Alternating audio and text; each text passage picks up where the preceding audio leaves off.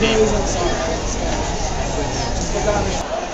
Well, you know, we get an early start. We wake up real early.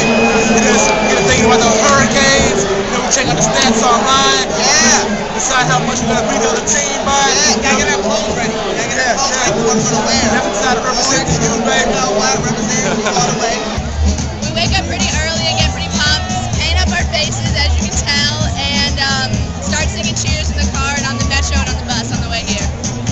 Fraternity and I, you know, we get drunk pregame, we do what our thing, and then we go to the, we get on a bus, go to E4, and drink more.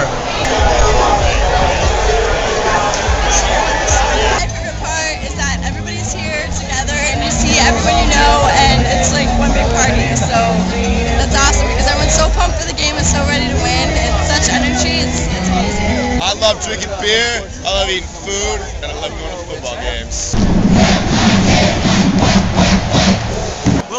About the Orange Bowl is the student section. It's when it's all uh, everybody going crazy for everything.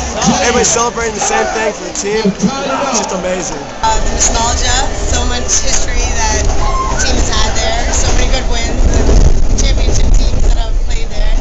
Just the overall atmosphere, the, the historic background this place has, and just knowing that national championships have been won by this team. Okay.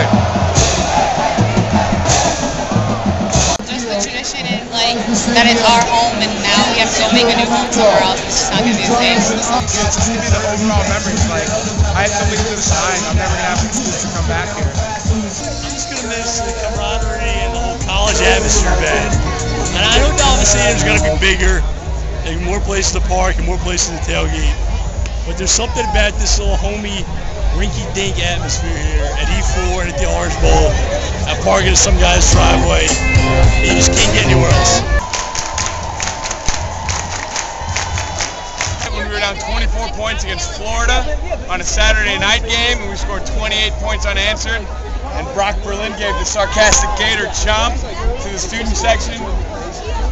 Best, best Orange Bowl moment. It was so cool because we were like on the, the bottom, like in some random place, like within the bowl, and it was just cool to be down there next to the field for kickoff. I actually really liked the Texas A&M game whenever I thought we were gonna lose, but we came back like kicked their ass. Dude, this is our home. It's college football paradise. I'm gonna miss it.